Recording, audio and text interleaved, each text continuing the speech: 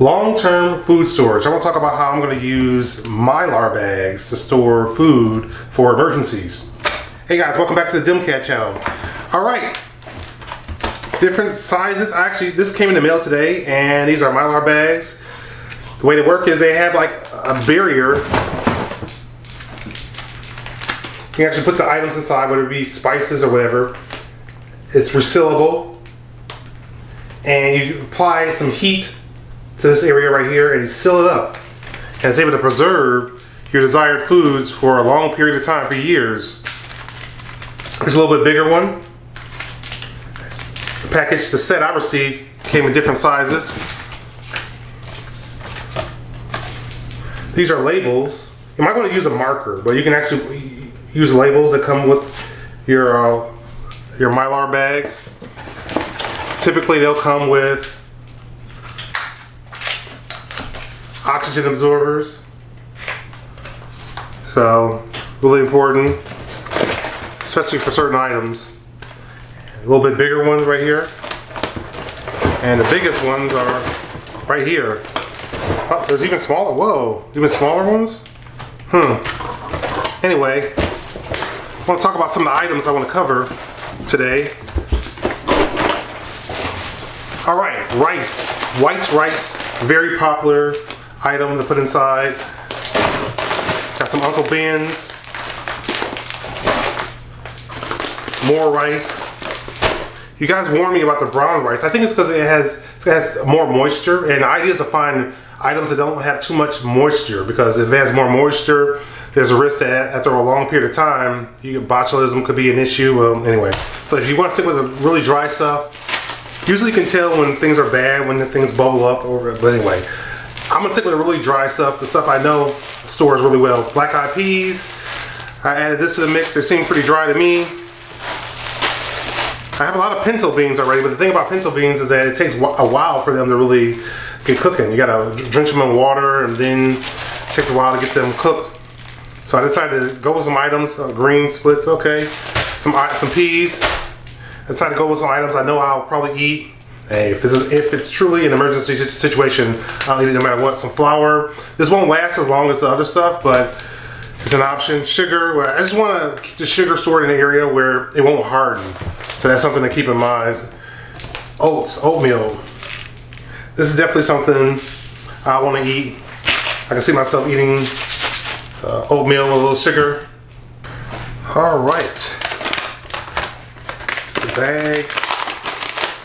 Start off with some black eyed peas.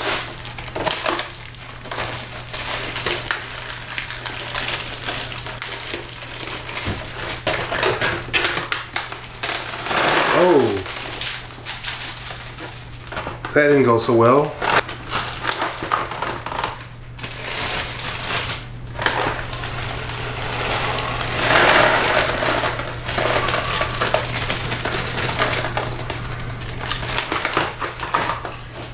that.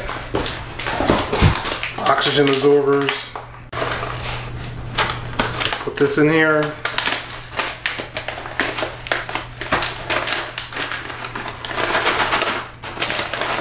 Hmm. Might be able to make some room for some more. I don't know if I want to overstuff it.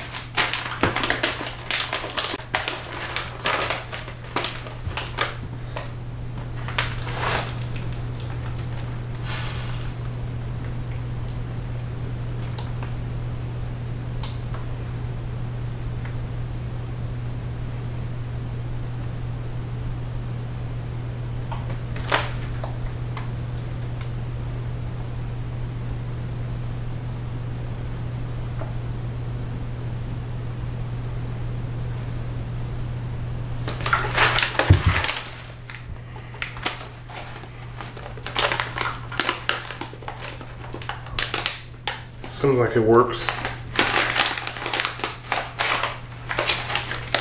Forgot to label it.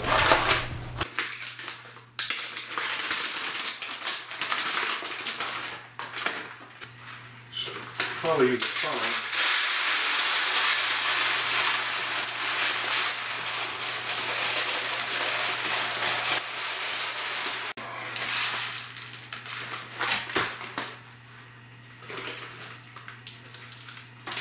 Couple of these in here.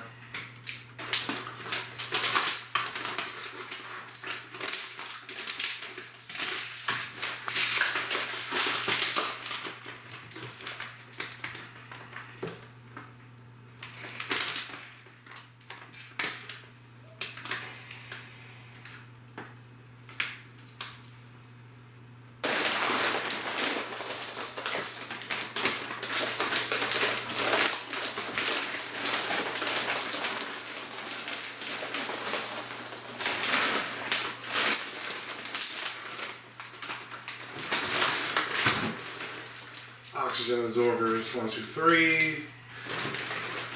One, two, three in there. Oh, I don't know. One, two, three. Maybe just two. I don't know.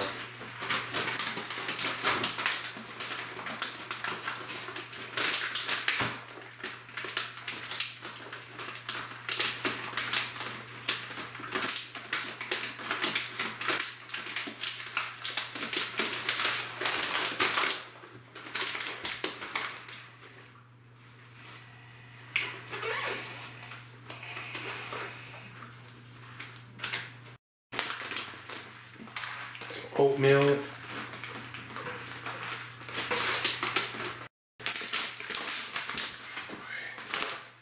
Some more white rice.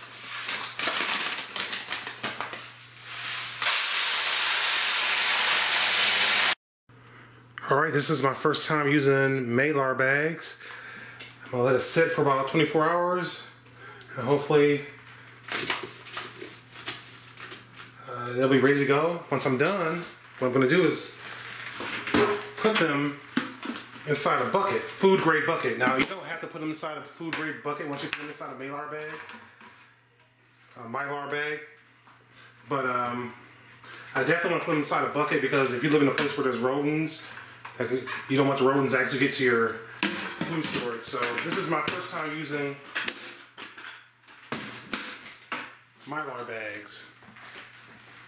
So tell me what you guys are up to. How are you preparing for uh, the, the coming trials and tribulations? Thanks for watching. Thanks for listening. And Don't forget the future belongs to those who prepare for it today.